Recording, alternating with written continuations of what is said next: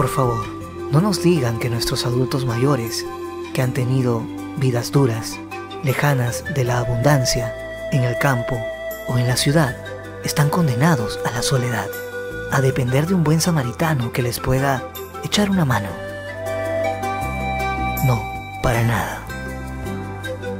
Al contrario, el corazón y la mente nos gritan en silencio que mirar de lado a nuestros adultos mayores, cuyo andar siempre ha sido cuesta arriba, es inhumano. Dicen que donde no se honra a los abuelos, no hay futuro para los jóvenes. Por eso, Pensión 65 apareció hace 10 años como una luz de esperanza. Felizmente, antes del final del camino, para las peruanas y los peruanos, que con canas y a paso lento pechan, valientes, a la pobreza. Los acompaña en su ruta, los asiste, los comprende, los ayuda, los reconforta y revitaliza. Actualmente, a lo largo, ancho y altura de todo el Perú y en el contexto de pandemia, más de medio millón de personas adultas mayores, en pobreza, pobreza extrema y vulnerabilidad, son usuarias del Programa Nacional de Asistencia Solidaria Pensión 65 del Ministerio de Desarrollo e Inclusión Social. Cada dos meses renuevan esperanzas al cobrar los 250 soles que les brinda el programa y que usan en solventar sus necesidades básicas. Agradezco a Pensión 65 que nos da esa platita. Con eso compramos nuestras medicinas, nuestros alimentos, ese es un apoyo para todos nosotros de edad, de ancianidad, ya no podemos trabajar y le agradecemos bastante que nos dan un apoyo. Pensión 65 creo que es uno de los programas más importantes para el MIRIS, porque atendemos a nuestros hermanos de la tercera edad hermanos que en juventud y adultez nos entregaron su cariño, su trabajo y creo que de alguna manera con este granito de arena a través del MIDIS el Estado pueda llegar para acompañar una vejez de calidad a nuestras hermanas y hermanos de este programa. Pensión 65 ha sido probablemente un programa ah, fundamental, digamos, para la vida de las personas adultas que se han beneficiado de, esa fuente de ingresos, que en muchos casos son adultos, adultas mayores que incluso viven solas en zonas rurales o en las ciudades. ¿no? Sin duda, ¿no? Celebrar 10 años de pensión 65 demuestra lo importante que era crear ese programa, lo urgente que era pero sobre todo lo que nos da, yo creo, es una sensación de alivio y de, responsabilidad luego de haber visto el tremendo papel que ha jugado Pensión 65 durante la pandemia para poder atender y proteger a nuestros adultos mayores más vulnerables sea ante la ventanilla de una agencia del Banco de la Nación en las ciudades o frente al ansiado carrito pagador de una empresa transportadora de valores en las zonas rurales, las sensaciones son las mismas. Tranquilidad y seguridad. Ellos y ellas no están a expensas del destino. Saben que el Estado, a través de Pensión 65, los respalda y protege. Pero el inicio no fue sencillo.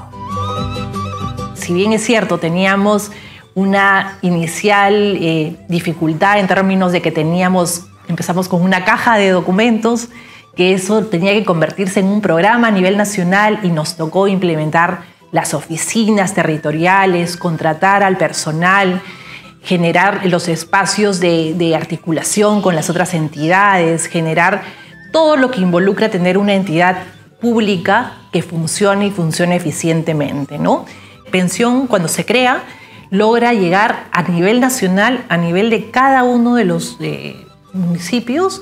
¿Por qué? Porque articula directamente con cada uno de ellos. Pensión 65 interviene con pertinencia cultural y llega incluso a los ámbitos del Braen y del Alto Guayaba también a los centros poblados amazónicos y a las zonas de frontera, a donde las plataformas itinerantes de acción social del Programa Nacional País llevan las subvenciones. Además, ante el acecho del coronavirus y para evitar que sus usuarios y usuarias que padecen de problemas de salud se trasladen, Pensión 65 implementó las modalidades de cobro por tercera persona autorizada, carta poder y entrega a domicilio para los mayores de 80 años y que presentan discapacidad. La inclusión financiera es una de las grandes ventajas generadas por Pensión 65.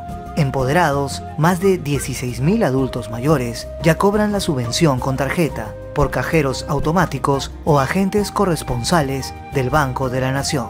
Una edad avanzada ya no es impedimento para ser parte del ecosistema financiero.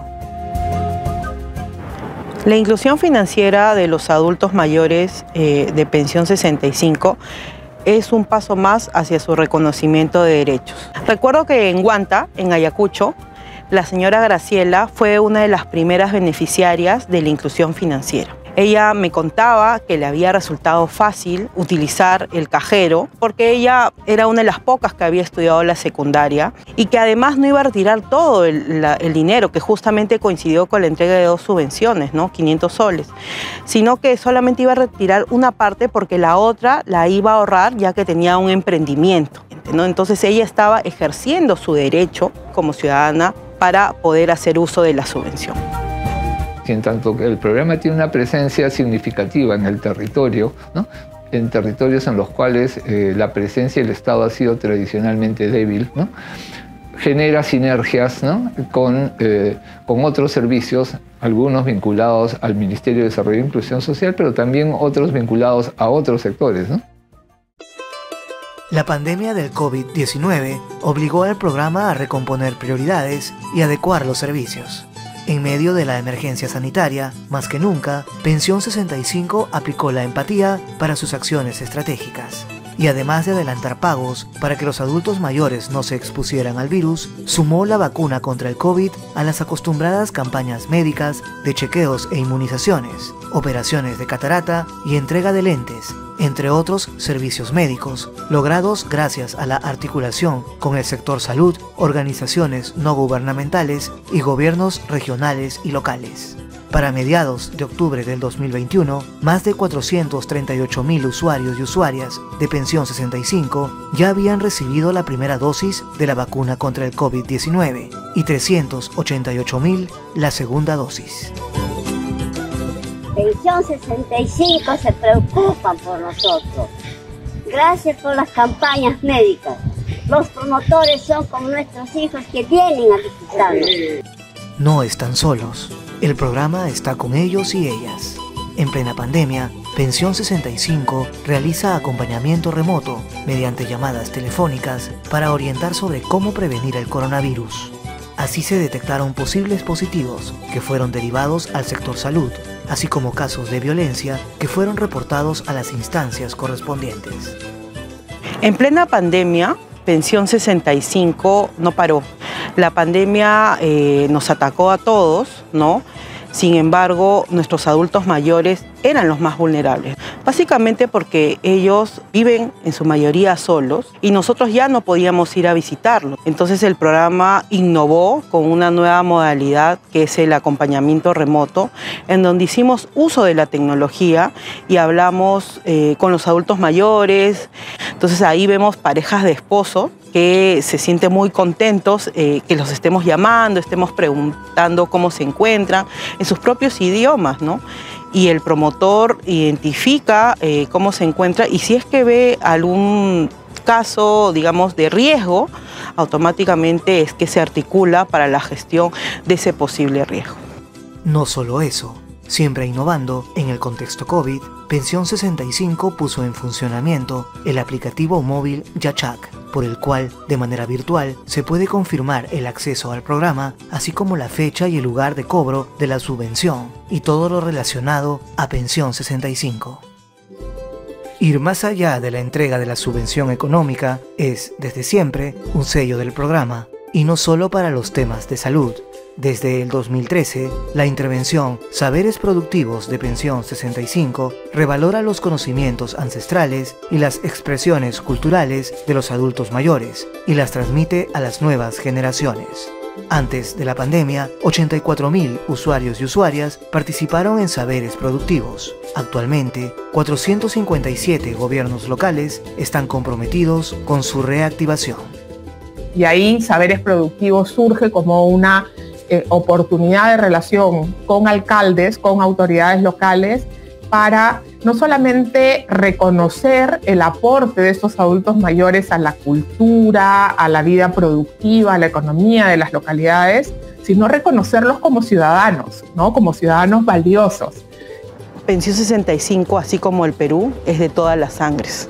Tenemos usuarias y usuarios aguajún, ashuar, quechuas, aymaras, shawis, ayánicas, en donde los promotores los visitan o los llaman por teléfono en sus propias lenguas. Y Pensión 65 valora, valora su patrimonio inmaterial, sus bailes, sus cantos, sus rezos, los pone en valor. ¿Para qué? Para que las generaciones, las comunidades y ellos mismos se sientan orgullosos de preservar esa identidad.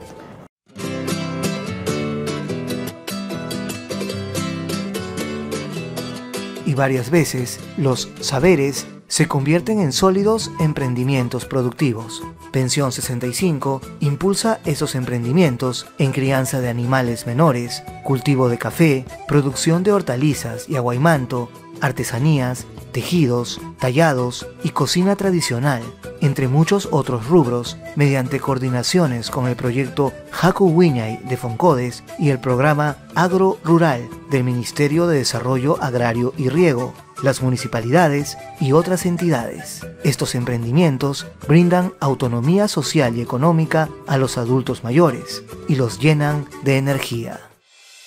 Mejorar la relación con los adultos mayores es el primer paso para sacarlos de la postergación. Por eso, Pensión 65 buscó reforzar lazos intergeneracionales con el concurso de cuento, poesía y dibujo Los Abuelos Ahora, que hoy ya es toda una tradición y en el que miles de escolares de todas las regiones del país no solo expresan amor y reconocimiento a los adultos mayores, también se convierten en defensores de sus derechos.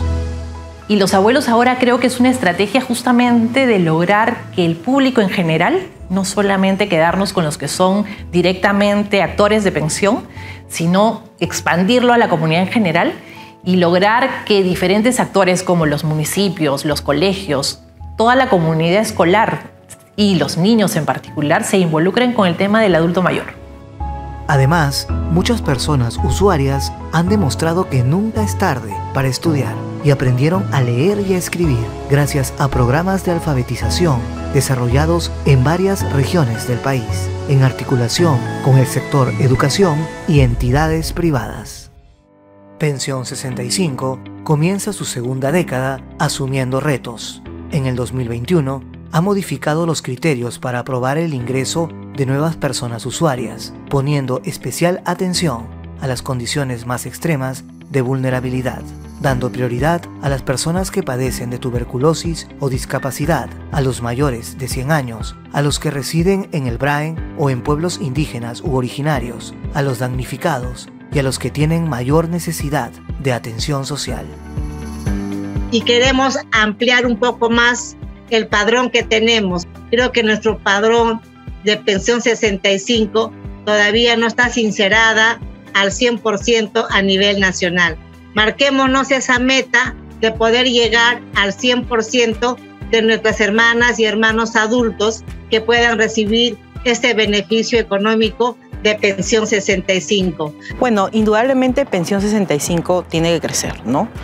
Y en eso se está trabajando en que más adultos mayores se beneficien de la pensión 65, como ellos lo dicen. Ese es un reto. Y no solamente ello, sino que este modelo vele por la salud de nuestras personas adultas mayores, continúe valorando su identidad, pero también los dote de mecanismos para que ellos puedan lograr sus emprendimientos, sentirse útiles, valorados, generar ingresos, ser líderes de cambio en sus comunidades. Eso es clave para Pensión 65 en los nuevos retos que se vienen. Cumplimos 10 años cambiando vidas y vamos por más. Y quiero felicitar por este día, por sus 10 aniversarios. Feliz día. Feliz aniversario Pensión 65. Feliz cumpleaños Pensión 65.